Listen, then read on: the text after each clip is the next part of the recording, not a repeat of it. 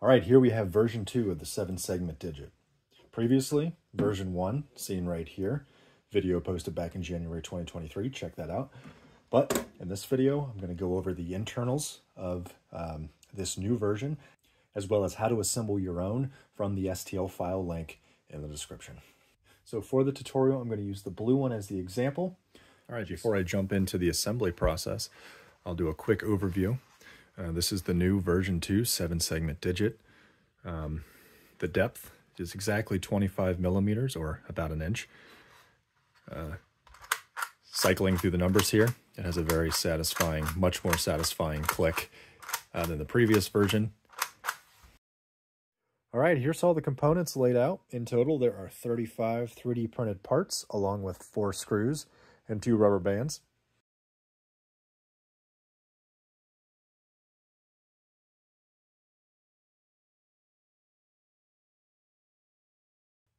So quick overview here on the segments. Um, this will also be the first step of assembly. There are a total of four types of segments, as you can see here. At the bottom, this is the D segment. This is going to be one that uh, is only quantity one. Um, also, it has the cam follower built into it right there. You can see the curve profile, whereas the other three that have quantity two each in total have their own uh, separate uh, cam follower that'll need to be attached. So uh, as you can see here, the three different types, uh, C, B, and A, those letters are part of the file that'll be printed into it if you look closely. And then likewise, each one of these is going to be labeled A, B, or C and that'll tell you which one uh, connects to which cam and follower.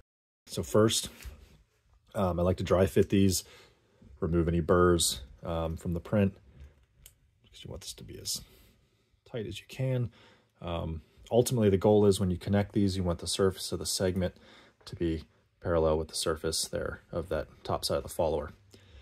Um, so that's a decent fit, how these went together, um, but it's not super tight. So what I like to do is I will use a little super glue. And I'll go ahead and drop some glue down at the end or where the top of the shaft will make contact. And then slide these together. And making sure those look as parallel as possible. That looks pretty good. Um, also, just make sure the bottom of that follower sits on top of that little extrusion right there. Glue all these together. Uh, I'll next bring in the seg plate. So the seg plate or segment plate is the um, basically the guide where all of these segments will uh, be supported and slide. So each one of these cutouts is a path for the sliding action of all these segments, and then including that center one, segment D right there. So what you do, um, You'll see there's text on here um, labeling each of the uh, segments. So C's top and bottom. So here's a C right here. So basically you'll just drop that in. Um, do a test real quick. Make sure that free falls.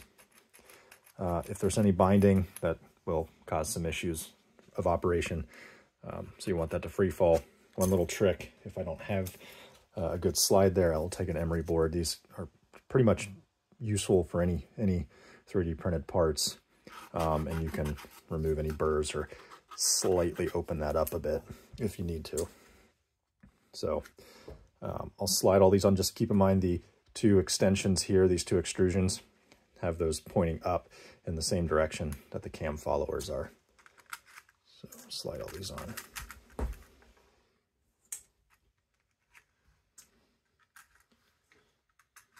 the D segment. That doesn't go in yet. I'll show you that in a minute. Um, so once you have all those in, then we'll grab a rubber band.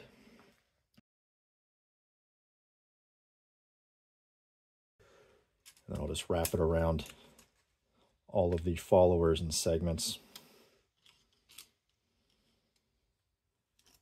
Make sure it's not too low so it doesn't get trapped between the, the um, seg plate and the uh, so just give each one a test.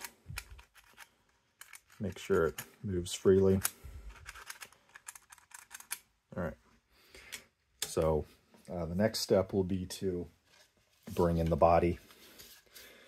Uh, the top side will be where that little cutout is. And then take your D segment, drop that in right over top of where it's going to be so that when you lay this on there, that slot will line up. And then just go ahead and drop that in there. Make sure it's pressed down all the way. Make sure that segment free falls. And then, so here are the cams. They're basically two sets, or two stacks as I'll call them, um, here in each of these columns. Um, down here at the bottom, we'll start with the uh, D cams. This one is really more of a cam than this one. As you can see, this one doesn't have any profile or any um, changing profile because this is acts more just as a support for these upper three, whereas this one here, this does have a profile, and this is the one that controls that center segment or D segment. So this is going to be the D cam. Next row, we have C, B, and A. All of these stack on top of the base or the number D cams in that order. Um, also, there is a cutout on each one of these that corresponds to a key. I can get the light to show that. There you go. Uh, a key on uh, these two stacks. So pretty simple. Just drop it on with that key lined up.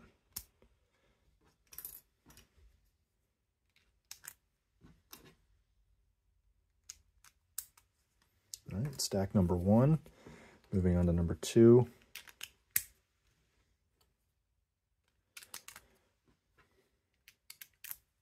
All right, so those are put together. Once the stacks are completely assembled, we can bring back in the body that we put together previously. Um, and then now it's time to drop these, drop these in there. So on the bottoms of each of these stacks, you'll see there's a uh, little cutout right there. That is going to go on here and here. Now for the bottom one, you might have to push two of the followers out of the way. And then one of the tricks with how to how to get this in its default or zero position is that both of the keys will be pointed towards each other. So this bottom one's already pointed up. And these also only rotate counterclockwise, or at least how that's the that's how the cam profiles were designed um, for these to rotate in the counterclockwise direction when you have it open and looking at it from the backside like this. So now both both keys are pointing towards each other. One little trick here at this stage, each one of these shafts has a little slot um, that I've put in there for a flathead screwdriver. What I like to do is just give these a test to make sure that they operate smoothly after everything's been assembled. Same thing on the top here.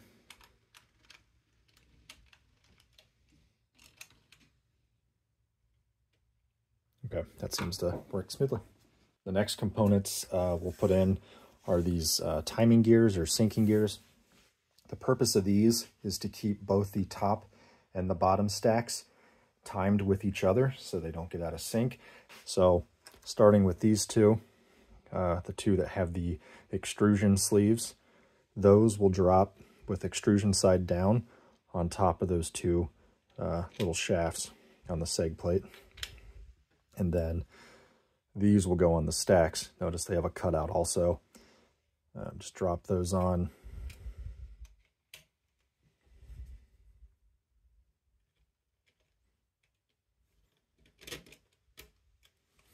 Make sure it's still lined up. All right, looks good. The next piece will be the mid plate. So this mid plate will house the everything we've put together so far, and then um, also support the, the next mechanisms that have to do with the ratcheting action. So to install this, just drop that on.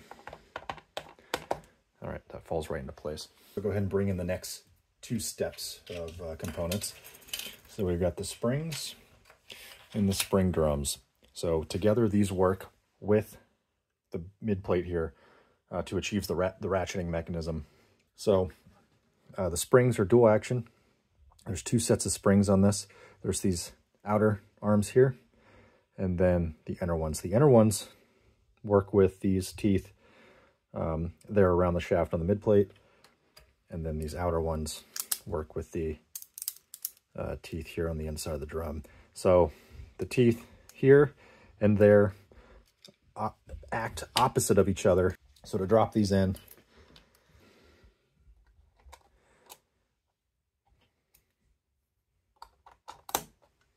and then the drums go on top with the uh, with the arm right there going to the left. You'll see there's a cutout also for that's path or travel. So I start that in the down position and then just lock it up to its uh, default or retracted position. Here we have the push action and push button. So to connect these two, look for the little nub here at the top of the push action. And then with the word push on the push button facing in the same direction as this, slide that into the slot and then snap those two together. All right, we're almost to the end here. The next component I'll bring in. So this has two arms here with these extrusions. Those will fall into the uh, two slots right there. And then we have another one that's all by itself over here. And that'll be uh, used to support a rubber band. So let me show you that. So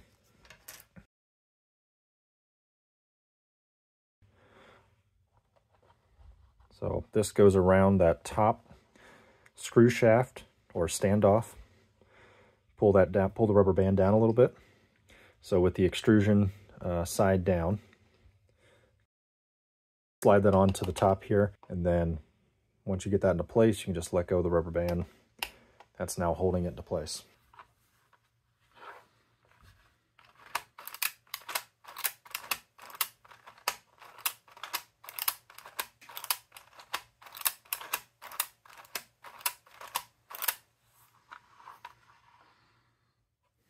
So back plate right here, final step, just falls right into place there. So the screws, four total at three quarter inch long, number eight wood screws.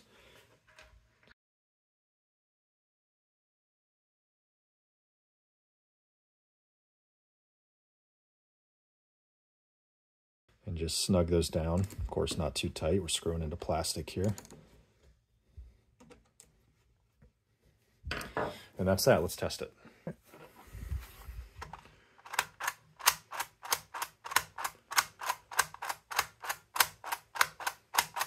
Success. All right, that looks good.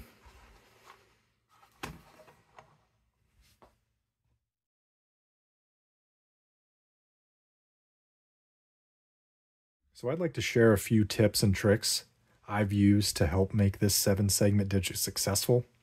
I hope you can find some value in this information. And as always, also, if there's any suggestions you have, please feel free to share. I'm all ears. So first, I'll make a quick recommendation of the colors on various components. This is probably obvious, but the color of the body should closely match the color of the seg plate since you can see it when a particular segment is out of the way or not showing. Similarly, the color of the cams and followers could also benefit from being the same color as the body because when a segment is hidden, the cams and followers can be seen with some numbers through the cam guides back there. At the very least, as long as they have a similar shade, like in this example, uh, with the navy body and the black cams, they're both dark colors. It works pretty well. The black basically is back in the shadows, so, you know, it's not really too visible with this particular uh, color scheme. Here are a few critical areas where removing burrs via file can significantly improve performance, if it's necessary. So like mentioned earlier in the video, the cam guides in the seg plate may need attention, depending on if there isn't free movement. Alternatively, you could remedy this by adjusting the scale of the segment components in your slicing program to create more or less clearance as desired. I would say a small scale adjustment of roughly 1 or 2% shouldn't affect the operation. The next place that seems to be a potential spot for complication is between the cams when they're stacked. So for example, if a burr or a piece of debris exists on the top of this one, and you go to stack this one on top, of course they won't seat completely together, and that can cause an issue. The next bullet point of area to check for burrs is here on the spring drum. Pretty much every time I print these, there's always a burr or two somewhere between the teeth points here. And what that does is that can cause the arm of the spring to ride on that and potentially not lock into place, or it creates a little bit of a resistance in the down motion. So checking in here for burrs uh, and removing debris um, can significantly uh, improve the feel when you push the plunger. Well, that's all I have for now. Much more future content to come, though. Thanks for checking out this video. And regardless of what they say, don't be afraid to reinvent the wheel.